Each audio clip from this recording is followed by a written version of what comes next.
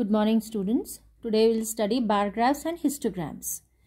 As in example 5 of your textbook, you are given this bar graph.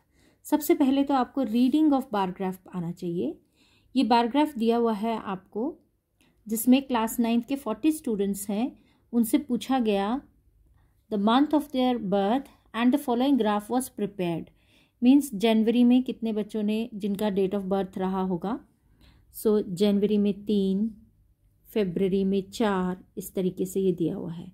इस पर based आपके question है। सबसे पहला है how many students were born in the month of November तो नवंबर क्या यहाँ है? ये रहा नवंबर नवंबर के पैरेलल आप यहाँ पे देखेंगे इट विल बी फोर आप चाहें तो एक स्केल रख लीजिए इस तरह से।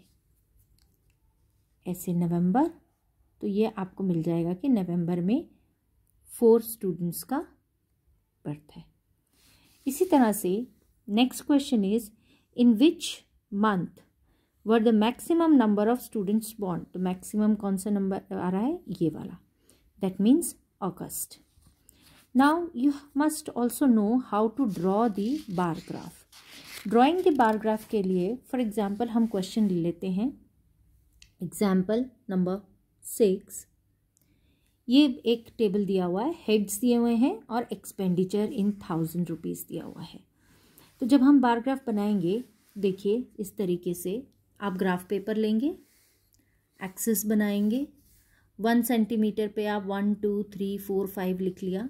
सबसे पहले है ग्रॉसरी ग्रॉसरी में आपको दिया हुआ है for expenditure in thousand rupees ये यहाँ पे लिखेंगे आप एक्सपेंडिचर इन थाउज़ेंड रुपीज़ यहाँ पर आ जाएगा हेड्स तो ग्रॉसरी इज़ फोर तो ये है one two three four bar graph में एक सेंटीमीटर छोड़िए और एक सेंटीमीटर का बार बनाइए।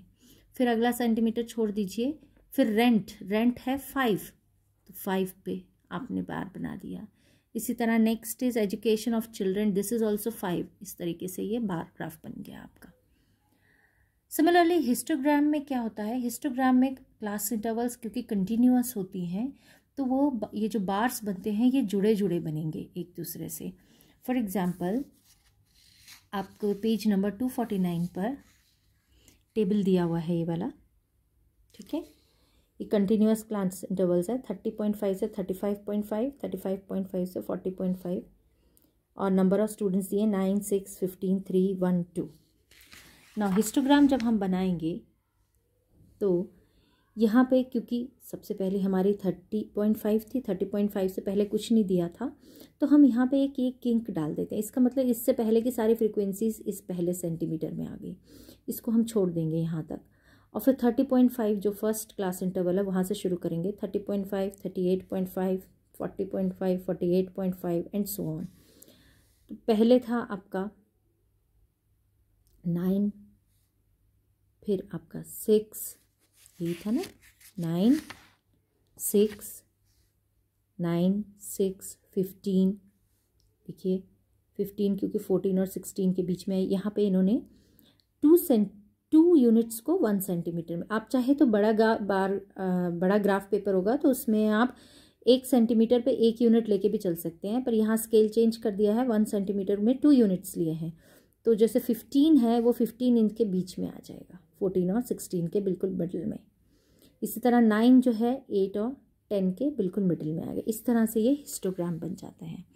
आई होप बारग्राफ और हिस्टोग्राम बनाना आपको समझ में आया होगा। Based on this you can take up the next exercise that is fourteen point three of your text book if you find any difficulty, then you can ask me. Thank you.